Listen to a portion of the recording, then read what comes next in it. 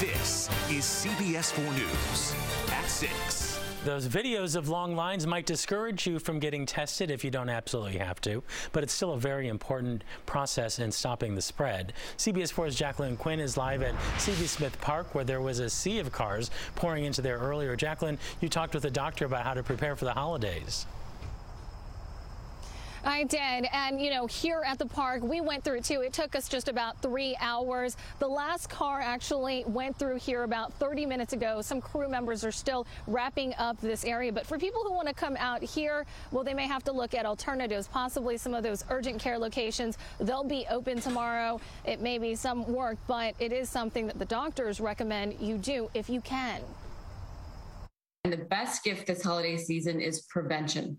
You want to stay out of the hospital. You want to stay out of urgent care. You don't want to be in a situation where you go to a hospital and there's not a doctor available, there's not a vent available. Dr. Geeta Nayyar is an associate professor of medicine at the University of Miami. She's encouraged that so many want to make sure they don't have COVID before gathering, hence lines at CB Smith Park. But she says err on the side of caution people are going to now have to think through if they can't get a test. And we actually have an example in our family where they've had an exposure, they're not feeling well, they can't get a test.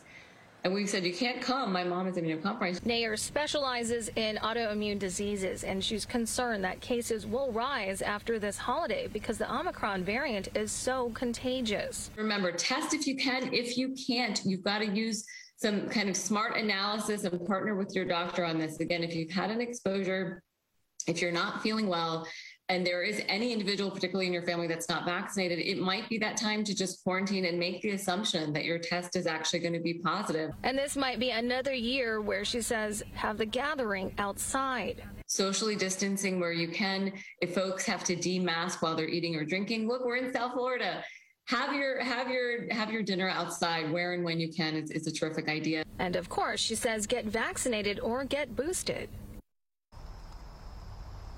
now, we looked up this location online. It says it'll have holiday hours tomorrow. You can also research some of those other urgent care locations. Otherwise, go to our website, cbsmiami.com forward slash coronavirus, and you can find a list of locations. In Pembroke Pines, I'm Jacqueline Quinn, CBS 4 News.